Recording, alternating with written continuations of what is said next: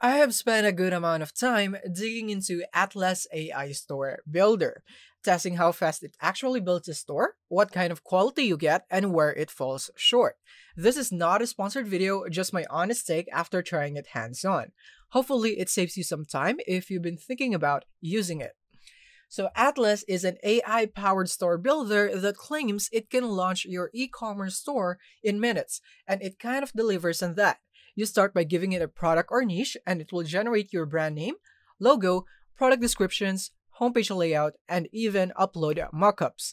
It's surprisingly fast. You can go from zero to a basic Shopify storefront in under 10 minutes.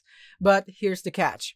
Most of the content is AI generated boilerplate. So while it's great at as a head start, you still need to polish things manually if you care about standing out.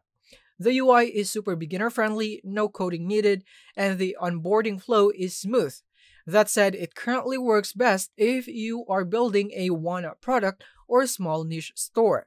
Larger catalogs feel clunky to manage right now. Also, don't expect perfect product market fit. Atlas won't validate your product idea. It's a builder, not a strategist. So yeah, this is it for my review for the Atlas AI Store Builder. If you are brand new to the e-commerce space and just want to get something live fast, Atlas is definitely worth trying out. But the but if you already know Shopify or want tighter control over branding and performance, you might outgrow this quickly. So that's it. Thank you for watching and see you in the next one.